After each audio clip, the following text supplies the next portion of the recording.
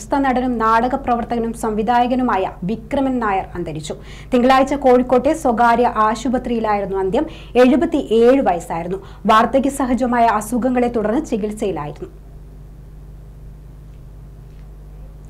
പതിനായിരത്തിലധികം വേദികളിലായി അമ്പത്തിമൂന്ന് പ്രൊഫഷണൽ നാടകൾ ഉൾപ്പെടെ ഇരുന്നൂറോളം നാടകങ്ങളിൽ വിക്രമൻ നായർ അഭിനയിച്ചിട്ടുണ്ട്.